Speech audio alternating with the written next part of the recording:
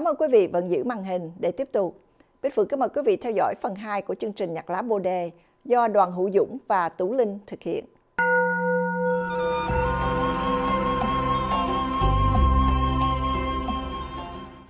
Tú Linh xin kính chào quý vị. Kính mời quý vị đến với nhạc lá Bồ Đề với câu chuyện Vì sao người hiền lành vẫn gặp đau khổ? Chuyện do viên hùng sưu tầm, Tú Linh tóm lược và trình bày. Kính mời quý vị theo dõi. Chuyện kể rằng, có một Phật tử hỏi về thiền sư, có đạo hạnh rất cao rằng, vì sao người tốt và hiền lành như con vẫn thường đau khổ, mà những người ác ngoài kia lại có thể sống tốt đến như vậy? Người tốt sao vẫn khổ? Có phải ông trời bất công?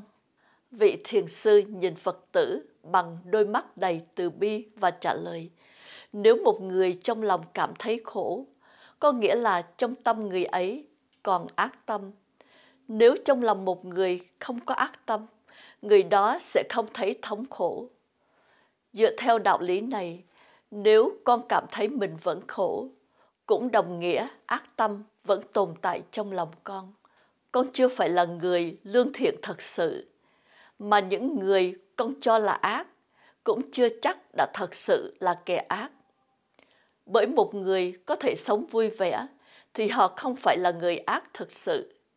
Còn khổ, tức là còn cái ác trong lòng. Vị Phật tử ấy không phục mà đáp lại.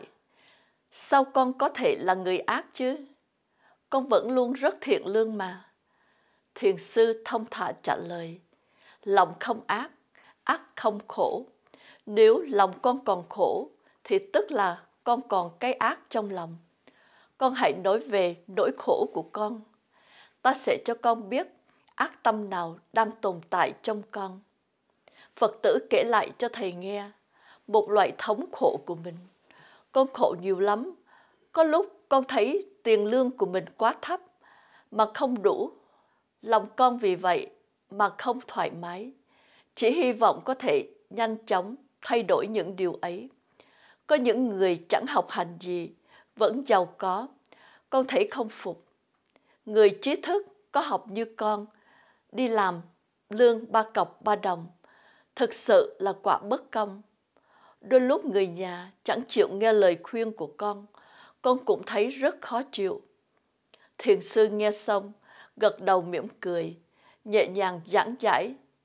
Thu nhập hiện nay của con đủ để con nuôi sống bản thân và gia đình. Con cũng có nhà ở, không phải lưu lạc nơi đầu đường chỉ là diện tích hơi nhỏ một chút. Con hoàn toàn không phải vì những điều ấy mà đau khổ.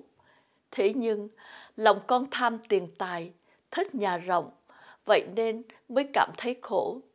Lòng tham cũng là cái ác. Nếu con có thể loại bỏ lòng tham, con sẽ không còn thấy khổ. Vì những điều đó nữa, đố kỵ cũng là một loại ác tâm.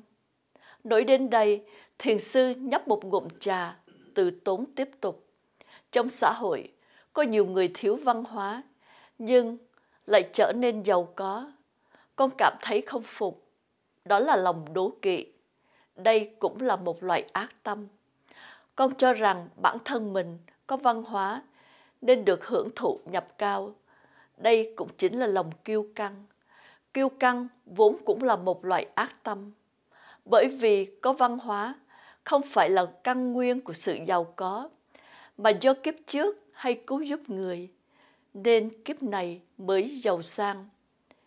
Thấy người phật tử có vẻ trầm tư, vị thiền sư tiếp tục đi sâu vào lý giải. Người nhà không nghe theo lời khuyên nhủ của con con thấy không phục, đó là thiếu lòng bao dung. Tuy rằng đó là người thân của con, nhưng họ cũng mang tư tưởng và quan điểm của riêng mình. Vì sao con lại muốn ép họ phải tuân theo quan điểm và tư tưởng của con? Không bao dung sẽ sinh ra hẹp hòi. Lòng hẹp hòi cũng tính là ác tâm. Tham lam, đố kỵ, kiêu căng, hẹp hòi đều là ác tâm. Lòng đố kỵ sinh đau khổ, tâm bình an, hưởng lạc cả đời bởi lòng con tồn tại những ác tâm như vậy nên sự đau khổ mới có chỗ đứng Nếu con có thể loại bỏ những ác tâm ấy, thì ắt mọi đau khổ kia cũng tan thành mây khói. Hãy cảm thấy vui vẻ và thỏa mãn với thu nhập cùng nhà ở của mình. Con nên biết rằng con người có vui vẻ hay không vốn không quyết định bởi tiền tài hay vật chất mà tùy thuộc vào thái độ sống của họ. Nắm giữ từng phút giây của cuộc đời, thay thế cái tham lam vốn có bằng cái độ lạc quan, điềm tĩnh bằng lòng cần cù. Con sẽ dần cảm thấy vui vẻ. Làm thế nào để hết ác tâm, không đau khổ?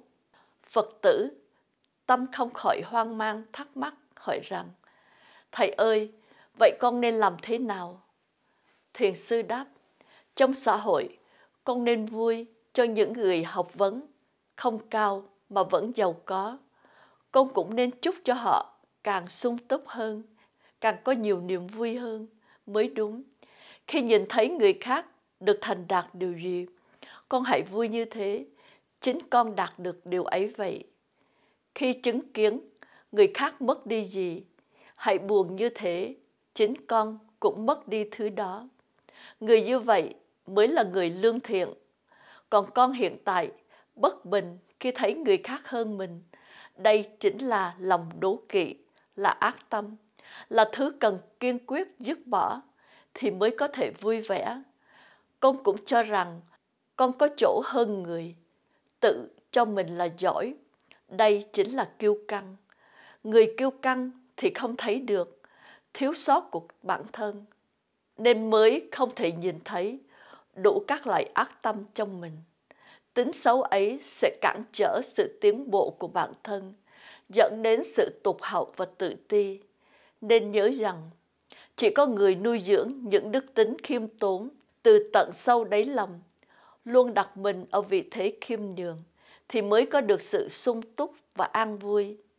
Chẳng dạy hết những đạo lý ấy thiền sư nhìn vị phật tử với ánh mắt đầy từ bi và nói tiếp, cổ nhân có câu, gieo nhân nào gặp quả nấy, kiếp trước năng làm việc thiện mới chính là căn nguyên cho sự giàu có ở kiếp này. Luật nhân quả chính là cán cân công lý chuẩn xác nhất. Nhưng có nhiều người vẫn chưa giác ngộ được luật nhân quả. Trồng dưa lại muốn được hạt đậu, trồng đậu lại muốn được dưa đây, đích thị là biểu hiện của sự mê muội. Chỉ người siêng năng học hỏi phật pháp mới thực sự thấu hiểu được nhân quả của vạn vật, vạn việc. Để từ đó biết thay đổi, lựa chọn hành vi, lời nói và tư tưởng của mình sao cho phù hợp. Người như vậy mới có thể đi theo ánh sáng, hướng tới an lạc, vốn dĩ, bầu trời có thể bao dung hết thảy cho nên mới rộng lớn vô biên. Mặt đất có thể chịu đựng tất cả. Cho nên tràn đầy sự sống. Một người sống ở trên đời trở nên coi thường người khác. Đối với người thân cũng không nên mang lòng cưỡng cầu. Cứ để tất cả tùy duyên, tự tại, vĩnh viễn. Dùng tấm lòng lương thiện đối đại với thế gian. Thiền sư nói thêm nếu tâm ta có thể bao dung vạn vật như bầu trời thì vạn nỗi khổ đau sẽ không còn trốn để dung thân Kính thưa quý vị, Nhạc Lão Bồ Đề đến đây xin được tạm ngưng. Mọi liên lạc về chương trình Nhạc Lão Bồ Đề xin gửi email đến nhạc lão bồ đề 2 gmail.com. Tũng Linh xin kính chào quý vị và xin hẹn gặp lại quý vị vào chương trình kỳ tới. Thông báo Nhạc Lão Bồ Đề thay đổi giờ phát hình trên SBTN. Kính thưa quý vị, bắt đầu ngày 14 tháng 2 2020, Nhạc Lá Bồ Đề sẽ phát hình vào mỗi tối thứ sáu vào lúc 8 giờ tối giờ Washington DC 7 giờ giờ Houston, Dallas, Texas và 5 giờ chiều giờ California. Tủ Linh kính mời quý vị theo dõi.